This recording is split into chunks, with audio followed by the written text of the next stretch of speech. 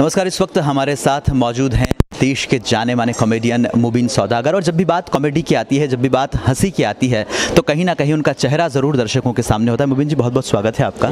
सबसे पहले यही जानना चाहिए कॉमेडी की फ़ील्ड में जो बदलाव आप लेकर आए हैं और जिस तरह से एक नई कॉमेडी एक नए पंच क्रिएट करने की कोशिश है किस तरह से देखते हैं जो प्यार दर्शकों ने दिया है? मैं बहुत ज़्यादा खुश हूँ कि लोग मेरा काम पसंद कर रहे हैं और यही प्यार है जो और अच्छा काम करने के लिए मजबूर कर रहा है मोटिवेट कर रहा है। तो कॉमेडी जब शुरू मैंने देखा जाए तो कुछ साल पहले जब कॉमेडी शुरू हुई थी तो पहले चुटकुले सुनाए जाते थे, लेकिन आजकल स्किट कॉमेडी होती है वन लाइनर पंचेस होते हैं, पेसी कॉमेडी होती है, पेस ज़्यादा होना चाहिए कॉमेडी में।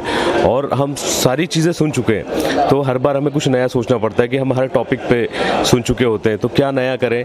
तो ये अच्छा है कि जब लोग इतना प्यार देते हैं तो जब हम थकान होती है कि नहीं यार, दिमाग नहीं चल रहा होता है तो वो जो प्यार है, उसकी वजह से हमें लगता है कि नहीं यार, मेहनत करो, लोग चाहते हैं कि हम उनको एंटरटेन करें।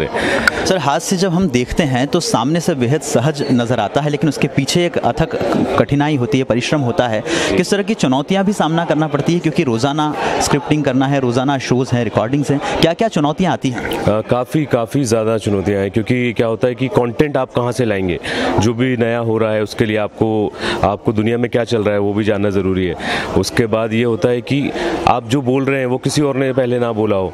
इस चीज़ का भी ध्यान रखना होता है कि नहीं तो लोग कहते हैं कि अरे ये उनको कॉपी कर रहे हैं इनको कॉपी कर रहे हैं। हालाँकि मिमिक्री एक अलग चीज़ होती है लेकिन मिमिक्री को मैं कॉमेडी में डालकर प्रेजेंट करता हूँ या कुछ कैरेक्टर भी नॉर्मल बिना मिमिक्री के करता हूँ। तो मुझे लगता है कि डिफ़िकल्ट तो होता है लेकिन जो प्यार लोग देते हैं ना वो सारी डिफ़िकल्टीज दूर हो जाती हैं। टेलीविज़न इंडस्ट्री ने एक बहुत बड़ा बदलाव लाया है कॉमेडी की फ़ील्ड में। कई सारे कलाकार रोज़ हमें इंट्रोड्यूस होते हैं छोटे छोटे शहरों से निकलते हैं लेकिन समय के साथ धीरे धीरे कहीं ना कहीं नाम गायब भी हो जाता है। क्या कहना चाहेंगे इसका कारण क्या है? इसका कारण मुझे लगता है कि कई लोग जो है, उनको लगता है कि ये बहुत हो गया इनफ हो गया। तो जिसकी वजह से उन्हें लगता है कि इससे, इसके आगे नहीं जा सकते। कई, और अपने आप को अपग्रेड नहीं करते। मुझे लगता है कि जो भी इंसान एक्टर हो या किसी भी इंडस्ट्री से हो, वो अपने आप को अगर अपग्रेड कर रहा है तो वो जहाँ है, वहाँ से और आगे जा सकता है। तो यही है कि अपने आप को हिसाब से अपग्रेड करते रहो।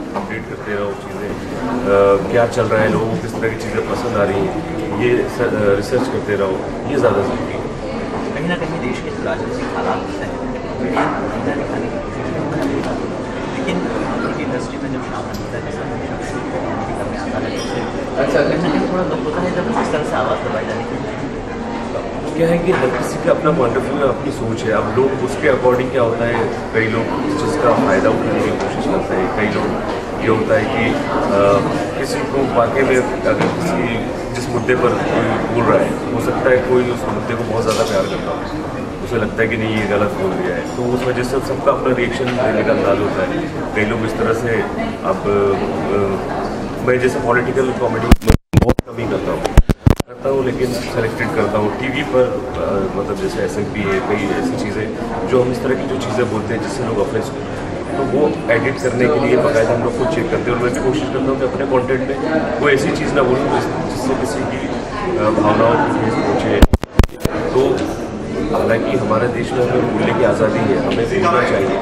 मैं उन मुद्दों पे बोलता हूँ, लेकिन कोशिश करता हूँ कि कोई ऐसी चीज़ ना बोलूँ जिससे लोगों की भावनाओं को ठेस पहुँचे। तो हमारा जो टैलेंटेड इंडिया इसके देश लाखों युवा दर्शक और आपके वाले लोग मैं चाहूँगा तमाम सारे दर्शकों की मैं टैलेंट इंडिया के तमाम दर्शकों को बहुत बहुत मुबारकबाद देता हूँ और शुभकामनाएँ देता हूँ। आप हमेशा खुश रहें, बहुत सारी दुआएँ देता हूँ। और यही कहूँगा कि प्यार आप लोग मुझे दे रहे हैं, और देते रहिए।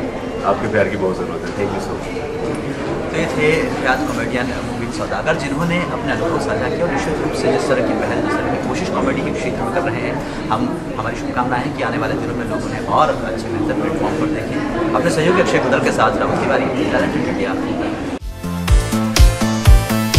अगर आपको हमारे वीडियोस पसंद आए तो प्लीज़ लाइक करें सब्सक्राइब करें और शेयर करें।